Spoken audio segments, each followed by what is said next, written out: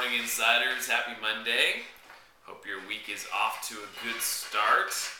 Uh, just getting back from camping, and I'll probably send an email or something out, or I'll post some pictures to Facebook. That's what I do. And by the way, if you're not my friend on Facebook and you're part of our network, jump on over there. Give me a friend re- request. You can keep track of what's going on uh, and check out the awesome pictures and stuff from. Uh, our camping trip. So anyway, um, let's jump in. I don't have a ton today. It's not going to be a really long video, uh, but it's important stuff.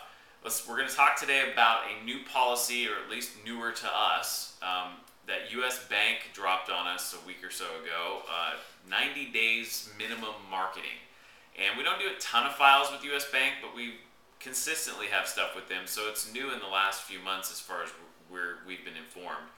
Um, and here's the basics of it. US Bank has said that they're not going to approve any offers until they've had a minimum of 90 days on the market of the property. Um, so,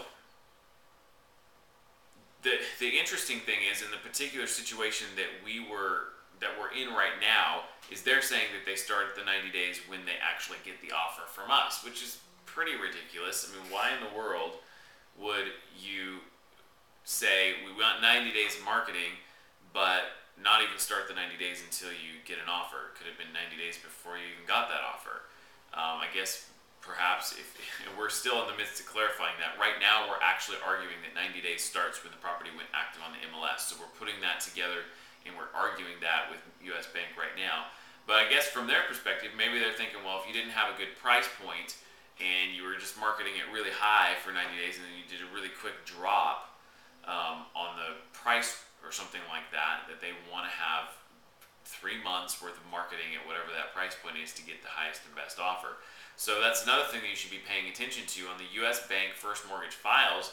You should be um, advising your seller that U.S. Bank is going to want a situation where the buyer can accept multiple offers because again, depending on your agreement between buyer and seller, some buyers um, are saying, hey, I don't want you to accept any other offers. I want to be the one that's presented to the bank, and we're under mutual contract, and no other offers can come in.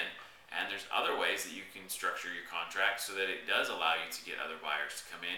It does make it a weaker transaction where the uh, usually the buyer that's giving you that ability then also has the right to look for other properties and walk away at any time. So there's a, there's good and bad to both. Um, so pay attention to that piece if you have a U.S. Bank first mortgage. You got to know who your mortgages are, and this is another reason why I recommend when you, if you haven't worked with a particular um, lender recently, that you call into the office and say, hey, I've got a short sale that I'm getting ready to list. It's got here the lenders that are on the property. Here's the details about the situation. We'll let you do a conference call with Aaron. Let Aaron get on the phone with you and have a strategy time where you're actually talking about your property, the lenders on the title, and what's going to be the best way to approach it because certain lenders are going to have certain weird oddities in their requirements and that therefore is going to mean that certain buyers are going to be necessary. If it's US Bank there's going to be certain marketing requirements. So take advantage of us in that way. If we're negotiating your short sale and you're part of our network we'll give you all you know we'll strategize with you because we want you to succeed because your success is our success. So um, here's a couple of thoughts that you should bring to the transaction when there's US Bank. Number one, you want to position the buyers depending on where you are in your marketing process. So if you've been marketing the property for 30 days and you get an offer and US Bank is the first mortgage, then you need to let the buyer know, hey, this is great. I'm going to send this into the bank just so you know. They're not going to make a decision for two months. Just doesn't even matter. They're just going to sit there and they're going to wait for two months and see if any other offers come in. So that buyer may be not very excited about doing that, or that buyer may not care because they're going to be out looking for other houses. If they find a better deal, they'll walk away. Um, I'm thinking that this policy is going to have some revisions at U.S. Bank shortly because it doesn't make any sense to me.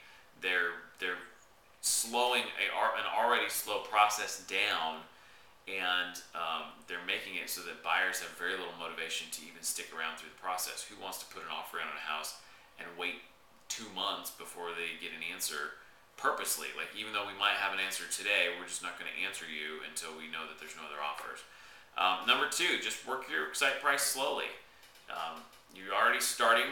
Usually, you're starting where you have reasonable comps, but we don't always get an offer at that point. So, you know, don't drop it really fast. Maybe take a little extra time between your price drops.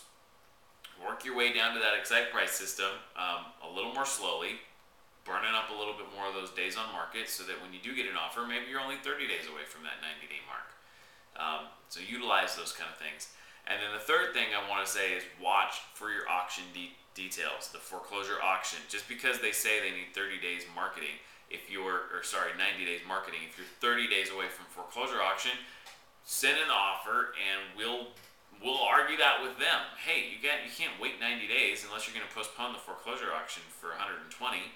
Um, make up your mind here. You can't do both. But don't just sit on it and keep your price at a point where you're not getting offers because you need 90 days marketing, and um, but you're not getting an offer, and now you're going to go to, have it go to foreclosure auction. So keep all those things in mind. Pay attention to it as things in, unveil here that uh, continue to give us enlightenment around what U.S. Bank is thinking and how we can best work within their rules. We'll let you know that. Um, if you have a U.S. Bank file right now, why don't you call into the office and we can talk about it and make sure you really understand how it applies and how you're going to need to disclose things to the different uh, parties to the transaction. So, uh, anyway, it's good to be back, and uh, I will see you, talk to you soon. If you have any questions, send me an email. Uh, or give us a phone call at the office. They'll patch you through to me, and um, we can chat a little bit. We love to strategize with our agents. It's uh, one of the services that we offer um, but it also makes the transactions go a lot smoother. So um, give us a call, uh, and we'll talk to you soon. Have a great one. Bye.